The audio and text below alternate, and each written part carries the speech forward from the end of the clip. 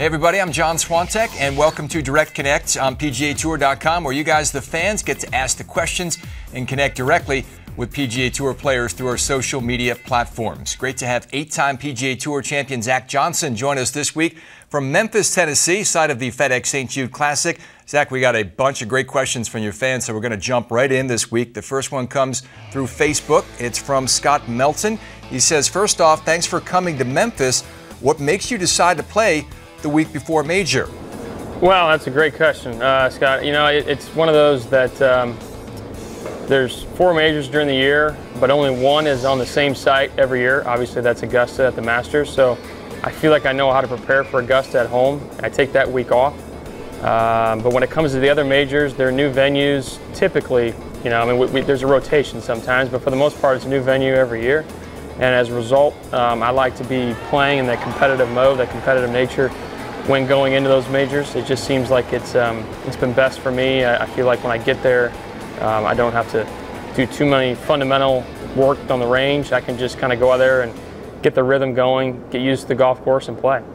TPC Southwind is going to be a tough test this week for uh, Zach Johnson, winner of the Crowne Plaza Invitational, despite that two-stroke penalty on the 18th on Sunday for failing to return his ball mark to its original position. We knew we were going to get a couple questions on that, Zach. Here comes one through the tour mm -hmm. report. He says, Zach, I know you expected some grief after Colonial from the guys back at Sea Island. How many copies yeah. of the rules book have you received since then? Yeah, that's funny. Uh, yeah, fortunately, the uh, you know there hasn't been a whole lot of backlash. Everybody's been actually pretty kind about it. If anything, it's kind of been the other way. Everybody feels like two strokes was a bit harsh. Um, you know, a lot of people are saying it should have been a one-stroke penalty or whatever. But uh, you know, it really doesn't. I mean, I, I take full blame for it. It was a, a, brain cramp and something that I don't think will ever happen again. And um, I feel fortunate to certainly have won, but fortunate to have had a three-shot lead and. Um, and I feel fortunate to have friends that are very understanding. uh, let's go to Facebook for another one for Zach Johnson. It's from uh, Jake Gilmer. How many times have you heard that you look like Joaquin Phoenix? No, that's the first today. Really? So quite a few, quite a few, quite a few. Okay. I mean, uh, it happens, yeah, more than I'd like to admit, but we're going to go with Johnny Cash, Joaquin Phoenix, not not the scruffy beard, right. David Letterman vignette. Uh, uh, Joaquin Phoenix. So I heard a new one the other day. Robert, I don't know how to pronounce his last name, Pattinson from Twilight. I'll take that as a compliment, I guess. There you go. That works as well. Uh, yeah. His, his Actually, they say they said that he looks like me. No, right. Yeah. You're a little more famous these days. That's right. Yeah, uh, right. 2007 Masters champion Zach Johnson joining us. Another one through Facebook from Adrian Geeting. Where do you keep your green jacket? He says, and how often do you wear it around the house?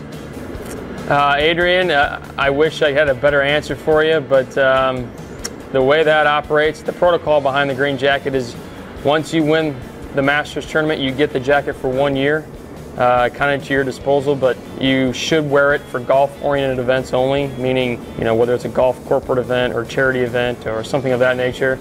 After that, it sits uh, back at Augusta National, and then once I get there for that week uh, of the Masters every year, it's in my locker. So I have it for one year, and uh, I try to wear it as much as possible, but um, you know, I like to get it one more time at least.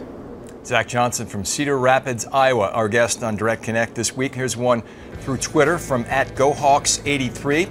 Zach, I know you've been very active in flood relief efforts in Iowa since the devastation of 2008. How's everything going?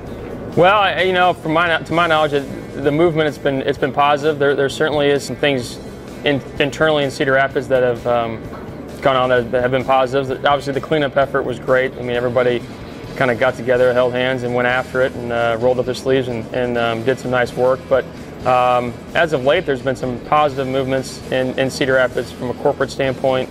That some of the neighborhoods are being rebuilt, and you know there, has been some nice uh, movements in the, in, in, the right direction where they're um, you know putting up the necessary levees and, and support structures and that sort of thing. So. That's Iowans. That's they just they just get after it. And certainly the Zach Johnson Foundation Classic uh, is going to help the cause as well. Here's another question through the tour report. Uh, wants to know when your charity tournament at Elmcrest is this year, Zach. And uh, he says if you're short a man, he'd be happy to fill in.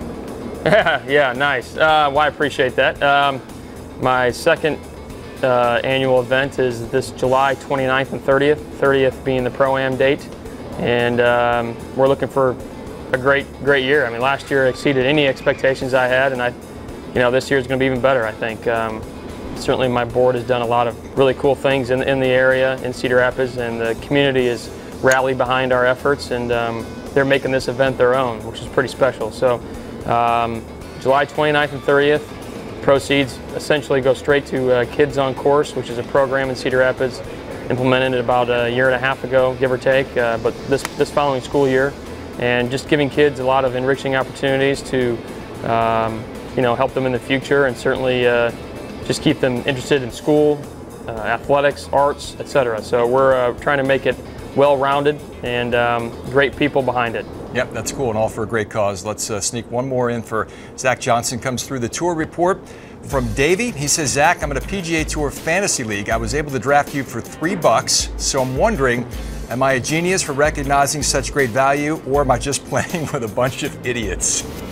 Um, I'd rather not answer the latter part of that question because I don't know who your peers are. But um, yeah, yeah, I guess you just you know you uh, you bought low and you can sell high, so that's a great investment.